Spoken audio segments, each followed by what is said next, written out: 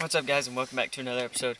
It's going to be a little bit different. It's going to be kind of a longer video as you probably noticed. But I told you guys that me and Weston were going to sit down together and film a podcast, a, a little um, video kind of talking about the Colorado trip and the elk hunt. It was both of our first time going on a backcountry hunt and we really, really enjoyed it um, even though it didn't go quite as planned. Um, obviously he's feeling better, um, feeling better enough or good enough to go on another backcountry hunt a month later. Um, we don't give up, and we're actually going to go back to that unit, or we have plans to go back to that unit next uh, spring. I mean, sorry, next fall, um, probably around the same time. Um, we're not going to tuck our tails, and we don't want it to kick our butt and just say, ah, uh, it's too tough. I mean, we're 20. I'm I'm 20 years old. He's 18 there's really nothing that's too tough um, like terrain wise we can go and we can hunt anywhere. We can be successful. We have the knowledge. We have the experience now. Um, but i don't feel like we touched on it well enough. And the whole reason why we went 12 plus miles into the backwoods is because we had a, a friend of john's go through on mules and scout that area in that unit, which was Unit 82 in Colorado. He went through there the week before we showed up to hunt it, and he saw a bunch of good um, elk, tons of elk down there.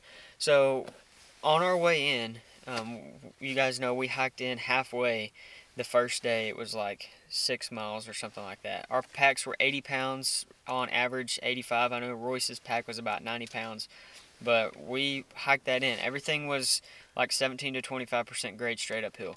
It was the roughest and toughest hunt that I've ever been on. Now, we made camp six miles in, and we camped right next to a stream. We filtered water, and the days before leaving for the trip, and every day that we were there, um, I drank, and Royce uh, drank. Um, it was like a gallon, gallon and a half of water. We acclimated really well, and we didn't have very much, or I didn't have very much breathing trouble. Um, I stayed hydrated, and I think that it was just a, a lack of drinking water. Uh, I'm not here to I'm not here to bash him at all. Um, we're we're just here to talk about this trip and basically give you guys more details on what had happened and why that things didn't go the, the, the way that they wanted or the way that we wanted them to. Um, he was fine um, we made camp Sunday evening because we had we had drove through the night Friday night, got there Saturday morning, hiked um, halfway on Saturday, stayed the night. Sunday morning we finished it off. Sunday afternoon we're sitting in camp, and the whole time we're looking at our our onX maps on our phones. We had service and we were able to pull up the GPS on our phones. We had paper maps and everything down in that valley, or everything that our our equipment said was yes, there is water down in that valley. So we take off down into that valley. And, and at that point, we had no water. Right, we had two bottles left, and I drank mine on the way down in, and then you drank like three quarters of that other bottle on the way um, in and on the way back out. Um, I was I was good to make it through the night, but I I was kind of struggling. We knew that we could go back for water, but it was just going to be like five or six miles to get out and go get it, and that would have been rough. And obviously, um, we could have done it. We could have stayed for the ten days that we were supposed to be there.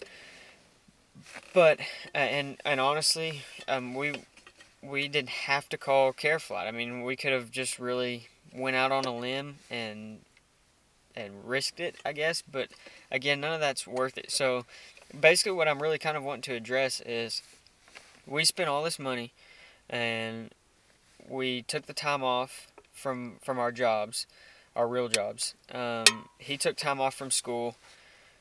We put in the effort to film videos for you guys, to go different places, to reach a broader audience, and to teach you guys stuff and show you guys hunts that y'all maybe wouldn't get to go do. Um, and that, that's part of the reason why we do what we do. It's um, just so we can we can be helpful, we can give tips, and, and we can share our experiences, of course. But we want to teach you guys everything that we know and help you guys as much as we possibly can. That way, we're all more successful hunters and better. But um, it was just one of those deals where we made the right call, and I, I want to address some of the really rude and uncalled for comments that were in some of these videos. Um, one of which Um, you guys should uh, you guys should stay in Texas and play video games. Like, dude, we laughed at you. Like, we flat out laughed at you because if you were in the same situation as us, and wh- whether it be his situation or, or you were in my position, we made the right call. And not only that, but like everything that we had GPS, paper maps, everything that we had to help us navigate and survive in the woods failed us. So Yeah. you, you can't do anything about that except for hike the five or six miles back to where we camped the first night and to that stream. And there was no water down in there. So w- with that, you can't hunt that area. We passed up public land hunters that uh, we I mean we we passed them up and then we went over the the ridge we went over the mountain and went down into a different saddle and we stopped and talked to these two guys and they were like wow y'all got you guys are gonna go hunt over there and we were like yeah there's that's where the elk are and they're like well you're y'all are pretty freaking committed and, and pretty crazy and we were like you know it's it's nothing that our bodies can't handle We didn't know any better. We'd never been on anything like that. well, I mean, Yeah. yeah, I mean, but everything that we had, navigation wise, everything that told us that you know there was water there, it, it wasn't true. It was a dry year. Um, the maps apparently hadn't been updated, but we've been doing research and and studying for this hunt and getting ready physically, working out all this stuff, drinking water um, beforehand, going into this hunt to be as prepared as we possibly could be, and the reason why we had to come out was not our fault. I mean, he drank water uh, throughout the day. I drank a lot of water throughout the day, the, the days prior, the day before, everything. Um, it just ha- so happened that you know we had enough water to you know, get us to more water. Let me put it that way. Like we had we had this much water in a bottle, and or, or actually we had two full bottles, and we drank them down, and that was enough to get us to water, and we were fine. That would have been perfectly fine had whenever we got down to that valley had there been water, and there wasn't. Yeah. So that's no fault of our own. Um, And go when we went down in that valley to look for water, it was like this. It was straight Right. downhill and straight uphill coming back. We Right. gained I don't even know how many foot of yeah, it was like coming 800. Yeah, it was- 800 somewhere around in there, foot of it was a lot. elevation. But we we literally we started out at about 5,500 feet of elevation, 6,000 foot somewhere in there from the trailhead, and the highest point I think we were at was like 12,750, 12,500 feet of elevation. That's a lot. That's 6,000. That's over 6,000 feet in elevation change. And of course, we camped overnight, so we acclimated. At, and halfway in between that distance, drank lots of water. We were fine, but we had enough water to get us to more water. And whenever we got down in there, and there wasn't any, there's nothing we can do about that. And he made it through the night, obviously. Um, we could have not called care flight. We could have easily just. Um, I could have woken up the next morning and hiked and got water and then come back. But I wasn't about to let him leave and, and Right. go by himself in in the dark and unfamiliar right, so land and and at the during the night at that point I couldn't go ten seconds without some part of my part of my body just cramping up really bad and I'm not you know saying that to sound like a, a baby or anything but it's true. that's true. Like yeah. I mean there's nothing I could do. So, regardless of the way that hunt turned out, we still went to to hunt elk, of course, share our experiences, um, but give tips and tricks and stuff along the way because we have done a lot of studying. We have gathered a lot of information, and there's a lot of the things that we know and um, are good at here in Texas, or we're not in Texas right now, but back in Texas, um, Yeah, with the not. with the spotting and the stalking of, of our whitetail and our hogs. Um, that a lot of that relates over to what we do in in the mountains. I mean, here in Nebraska, we're in Nebraska right now hunting mule deer.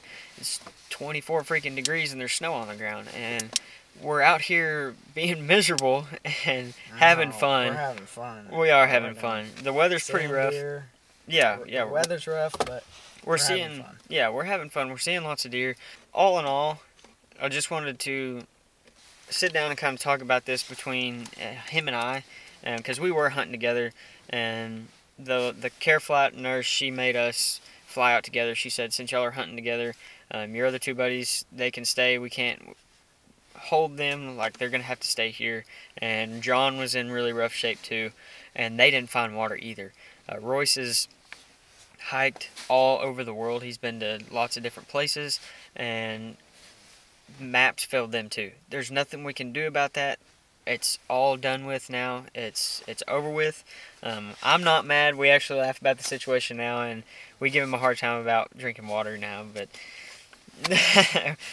we had a ton of fun on that trip, and we just want to keep going and doing stuff like this and sharing the experiences with you guys because, um, you know, in the end, we want to uh, be doing this full time and um, we love what we do. We love picking up this camera and talking to it, and neither one of us are trying to be rude here or be mean or any sort of thing like that. But um, though, for those of you that left rude comments, like we're not stupid. We understand that water and shelter are the two main things that you have to have in a situation like that, in 12 miles into the backcountry. Like we know. You don't have to sit here and tell us. We know. It's easy to say stuff like that sitting behind a computer screen. Exactly. Um, it's really easy. But whenever you're out there doing it, and because I guarantee you that 95% of those people that that left really rude comments, you couldn't do what we did. And that's not tooting our own horns. That's not us being rude. That's straight facts. Because whenever we took off and started it initially, we thought,